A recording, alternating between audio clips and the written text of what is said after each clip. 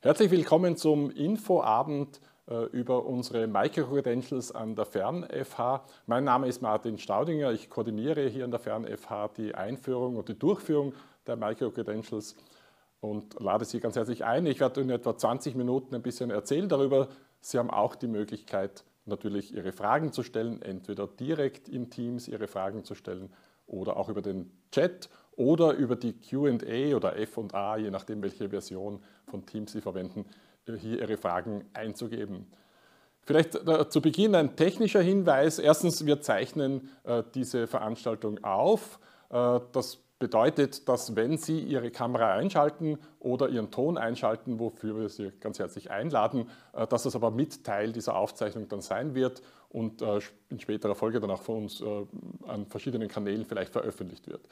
Wenn Sie das nicht wollen, dann lassen Sie einfach die Kamera ausgeschaltet, äh, verwenden Sie vielleicht auch nicht Ihren Ton, sondern geben Sie nur schriftliche Fragen ein. Beides ist möglich.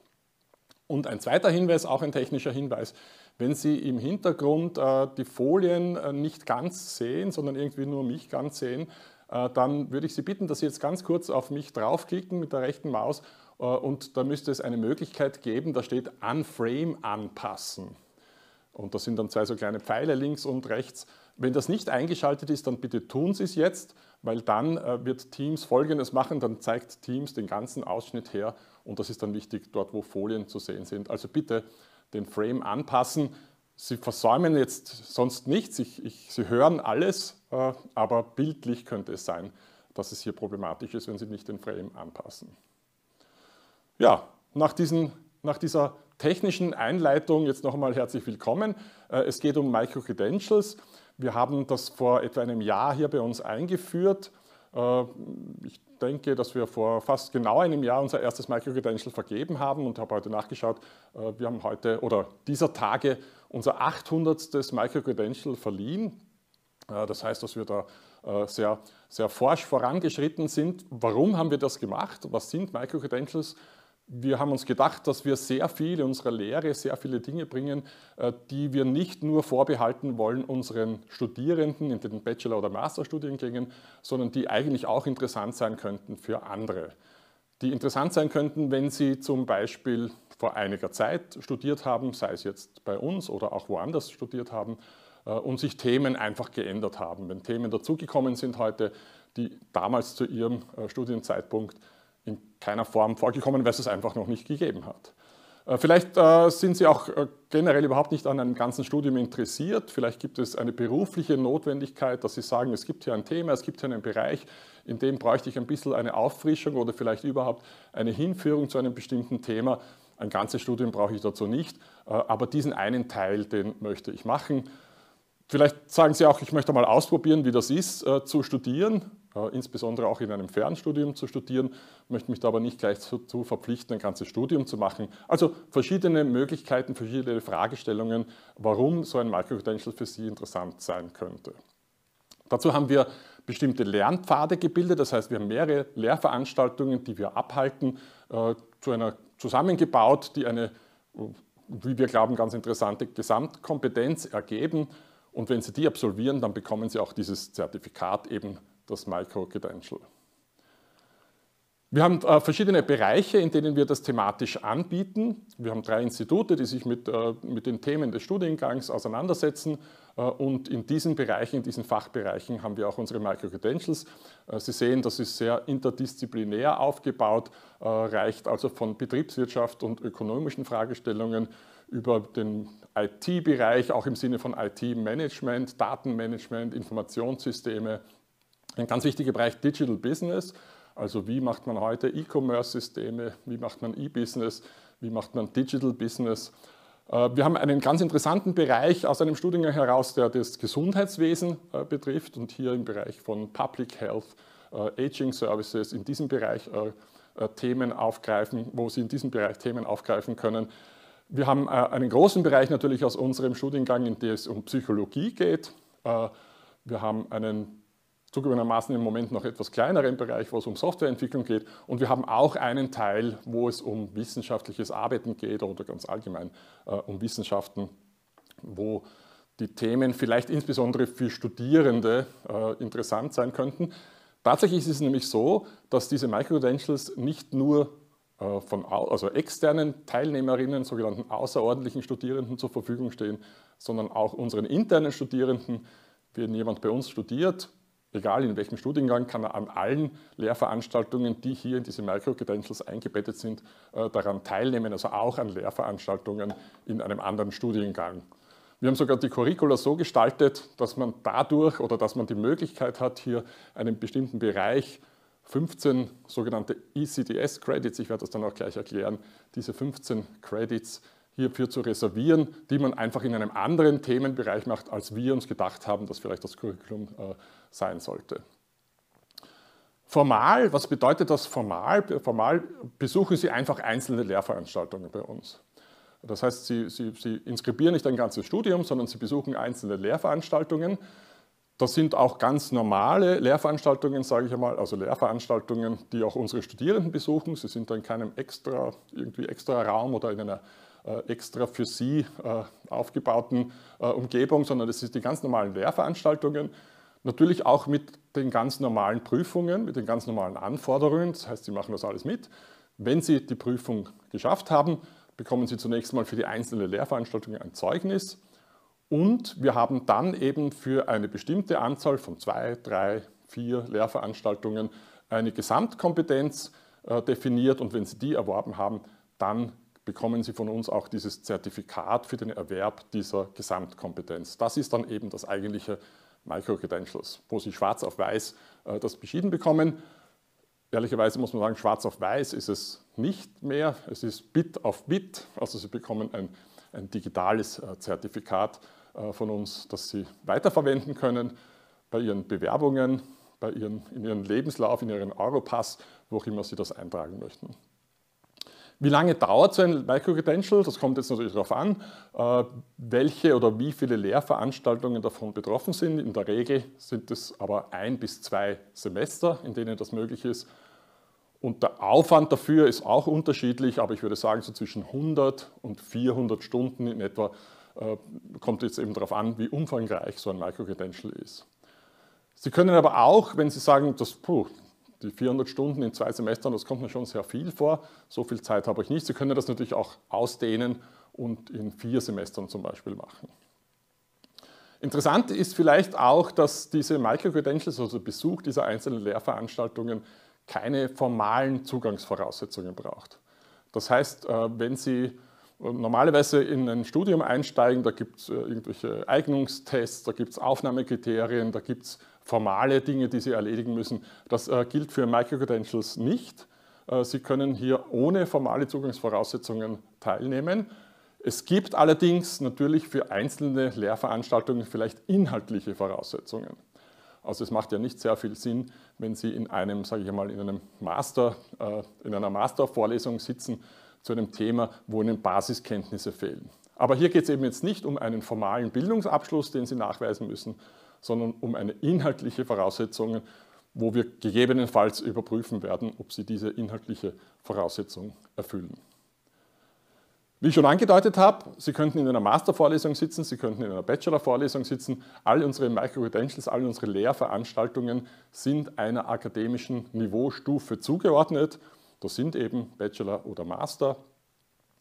Äh, das steht auch auf dem Microcredential selber dann drauf. Das heißt natürlich nicht, dass Sie, wenn Sie jetzt so ein Microcredential haben auf Bachelor-Niveau, dass Sie ein Bachelor sind oder dass Sie ein Master sind. Es heißt nur, dass die Lehrveranstaltungen, die Sie besucht haben, die diesen Kompetenzerwerb beschrieben haben, dass die eben auf Bachelor-Niveau oder auf Master-Niveau stattgefunden haben oder wir schreiben das aber auch international drauf, eben als Undergraduate oder Postgraduate Abschlüsse gelten.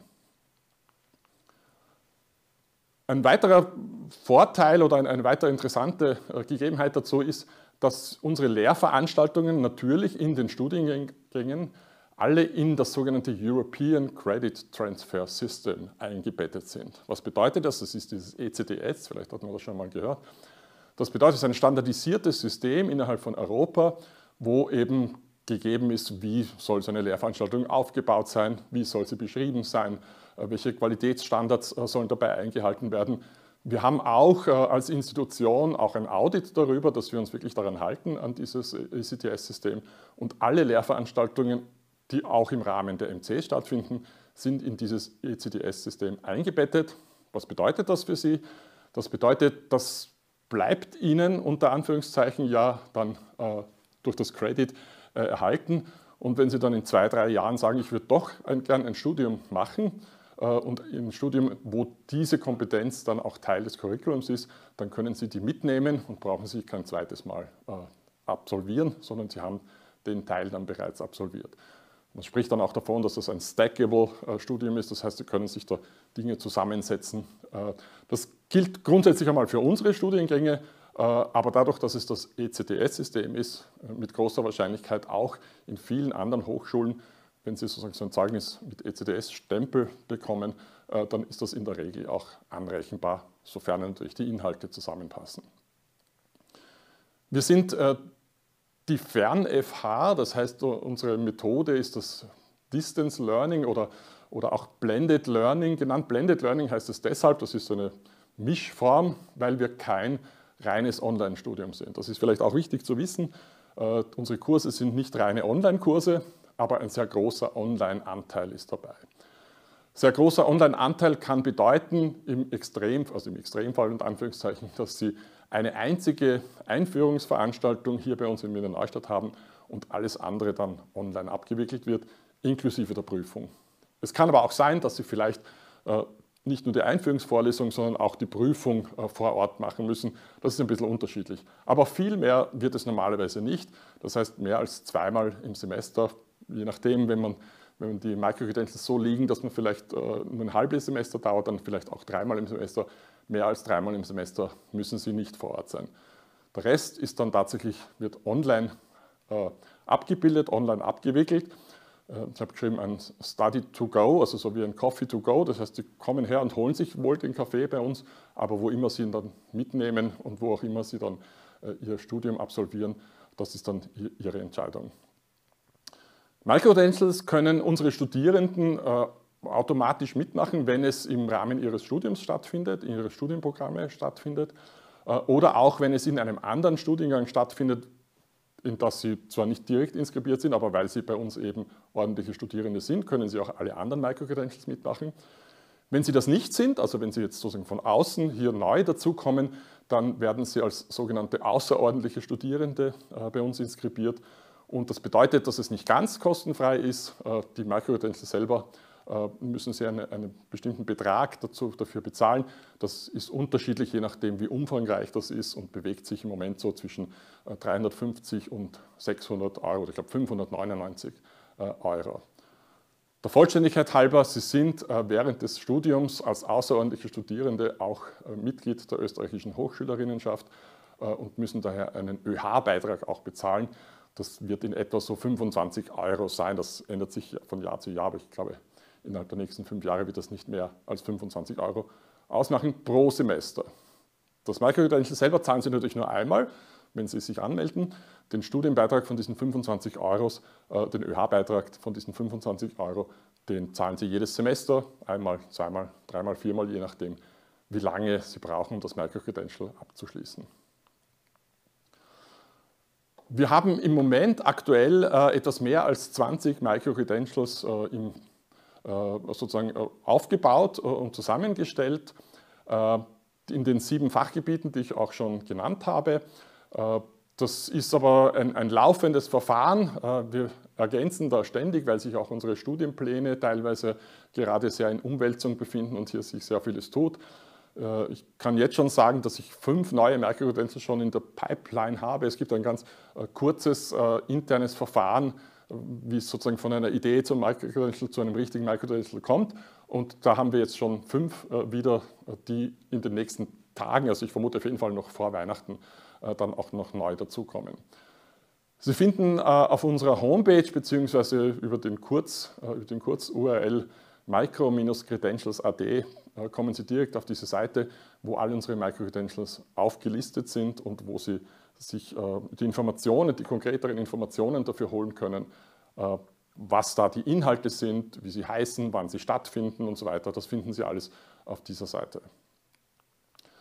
Vielleicht noch äh, zwei Hinweise. Ich weiß jetzt nicht genau, wer die Teilnehmerinnen äh, hier, hier sind, aber wenn Sie unmittelbar ein äh, Alumnus oder eine Alumna der Fern-FH sind, das heißt, wenn Sie hier bereits etwas abgeschlossen haben, wir haben ein sehr aktives Alumni-Netzwerk und dieses Alumni-Netzwerk bietet auch an, erstens einmal eine Ermäßigung, das heißt, von diesem Betrag, den ich vorher genannt habe, von diesen 350 bis 600 Euro, wird, wird auch eine 20-prozentige Ermäßigung gewährt und zusätzlich äh, hat das Alumni-Netzwerk auch noch ein Stipendium ausgeschrieben, wo man quasi auch den Rest äh, bezahlt bekommt. Äh, die entsprechenden Anträge und, und, die Konditionen dazu äh, finden Sie dann auf der Homepage äh, zu den Microcredentials, wo das Alumni-Netzwerk das auch beschrieben hat.